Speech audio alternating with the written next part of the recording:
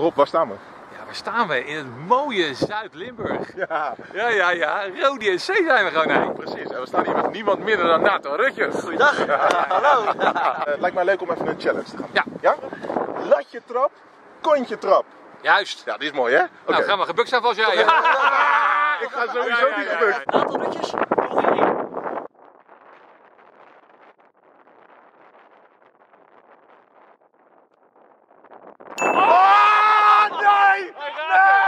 Rutjes.